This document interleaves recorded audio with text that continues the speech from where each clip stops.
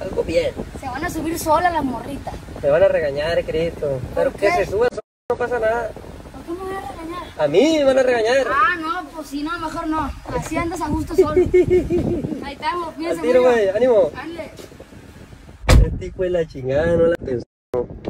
Hola amigos, aquí les traigo este video. Marquitos Toys hace algunos minutos nos estuvo compartiendo que Christopher le dijo que ya estaba listo su jeep para que subiera algunas morritas.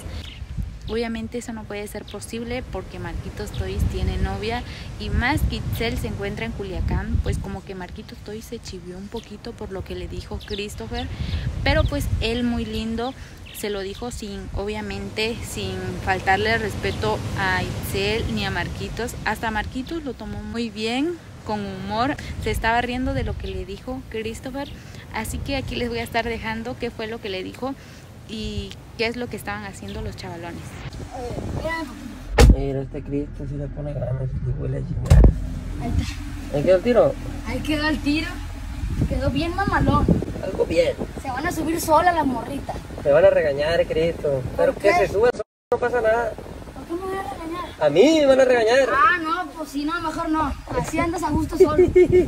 Ahí estamos, Al piensa, tiro, güey. Ánimo. Dale. Este hijo de la chingada no la pensó. Me van a subir sola, dice.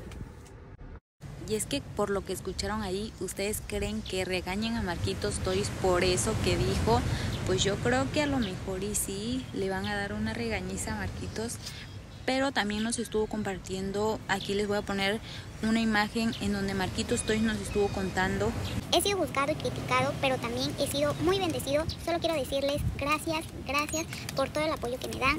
Busquemos y luchemos por nuestras metas, no envidiemos ni juzguemos a nadie. La vida solo es un momento, hay que vivirla de la mejor manera positivamente. Y pues eso fue lo que puso Marquitos Toys el día de anoche. ¿Ustedes qué opinan al respecto? Pongan aquí su comentario. Sí, pues tiene mucha razón Marquitos, hay que tomarlo en cuenta. Vean, pero el jet ski este. Valió verga. Puro cascarón de abajo, ni el asiento, ni el volante, ni nada. Y es que Marquitos Toy se dirigía a comer y también pues a pasar su tarde con Hurtado y el gordo Arce. La verdad es que pues los chavalones andaban muy a gusto ahí y pues más el gordo que siempre piensa en comer.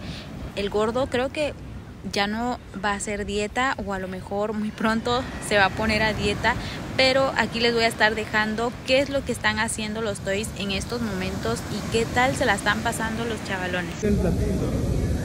Ya no más. Se alimentan estos muñecos. El plato de bebé que pidió mi tigre, mira, el platito de bebé. Qué buen pachar, hijo de su chingada madre. ¿Es que esta dieta, mi niño, ahorita? Sí, yo también. Sí, yo también, seguramente.